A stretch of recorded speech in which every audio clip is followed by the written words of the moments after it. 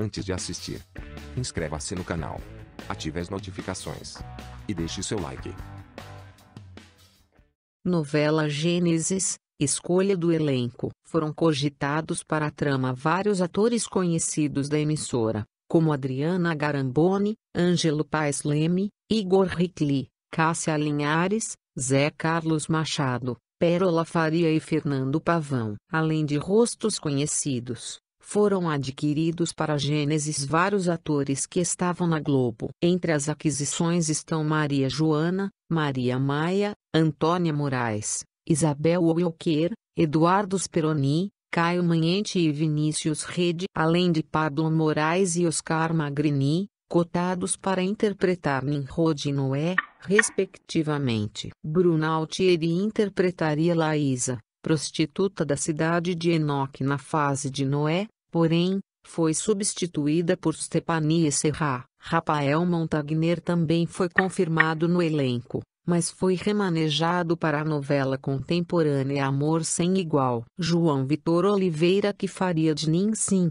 príncipe de Ur dos Caldeus na novela, foi substituído por Rafael Gevu. Paulo Coronato havia sido confirmado para interpretar o personagem Morabi, porém, o papel coube a Jairo Matos. Anteriormente, o personagem Lamaci seria interpretado pelo ator Sacha Bali, mas acabou sendo substituído por Gustavo Falcão. Sacha teve seu personagem mudado para Tarum, na última fase da novela. Talita Eunan estava escalada para interpretar Liba, personagem da terceira fase da trama. Porém, a atriz teve de ser substituída por Pamela Tumé após ficar grávida. André Bancoff originalmente interpretaria José, protagonista da sétima fase, porém foi substituído por Arthur Aguiar. Petrônio Gontijo e Miguel Coelho foram cogitados para interpretar Jacó em diferentes fases da trama, Anteriormente o papel seria de Floriano Peixoto. Antônia Moraes interpretaria Zenate, esposa de José do Egito na trama,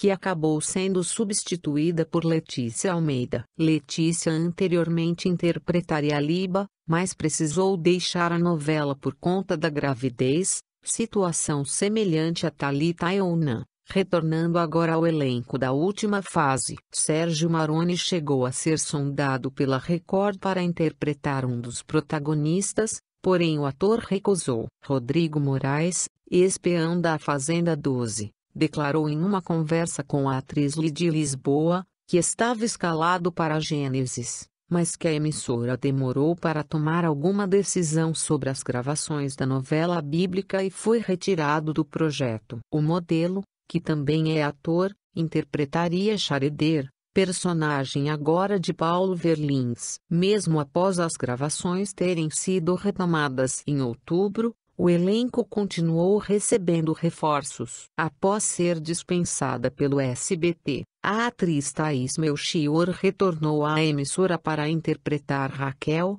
uma das esposas de Jacó.